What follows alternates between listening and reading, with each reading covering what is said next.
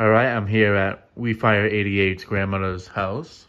There's this Hunter passport that he has installed here. And also here's Wiifire88. Hello.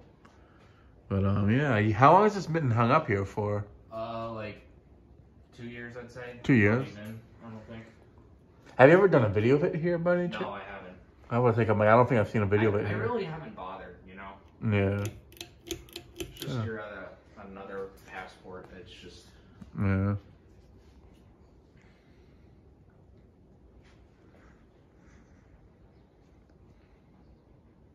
It's funny, cause I want to find a version like this that doesn't have an Air Max motor, but I also want one of the Air Max. You know what I mean? yeah.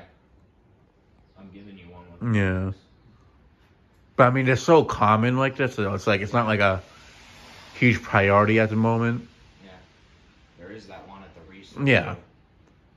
See, that would actually, if it's there for a while, I actually might consider getting it because it looks to be in really nice shape and such. Then on Princeton, how much do you think they'll put that one out for?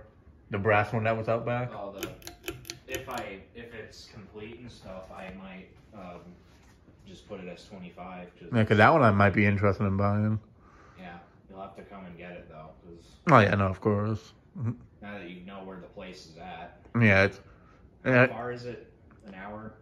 like almost like forty something minutes. Oh no, no kidding. So it's really not that far, actually. But I know, like, the majority of the drive I know, it's just like after, it's just like knowing a certain exit to get there is literally all it is.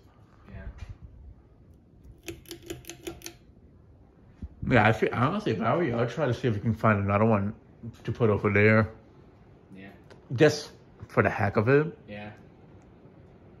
Again, I'm not here all the time. so Yeah. I just brought this one time and I just like, you know what? I'm gonna put it up there. Yeah.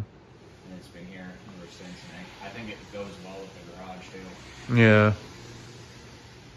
The down rod was a little shorter, maybe it'd look a little better, but I think it hangs at a good height. alright. I mean, it's not super low.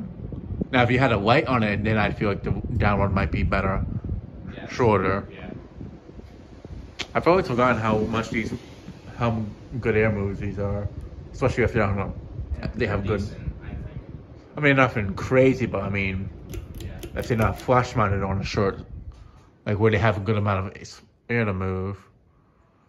Uh, yeah, it's good. I'll just do a da- spin down on it. But, um, Yeah, this thing is out here in the bitter cold. I imagine it's pretty quick. I mean, it's not like it gets used often, like you were saying. I kind of just put it up here for shits and shits and giggles. Yeah. See, that's kind of like what I did with the Coastal Breeze. But more so with the fan, of those basement fans I reinstalled on the other side. I was just more for that. But also just because I wanted to have some sort of like shop fan running still. But then after the rental told me to take them out, I'm just like, yeah, I'll just make the base, the um storage fans as that purpose.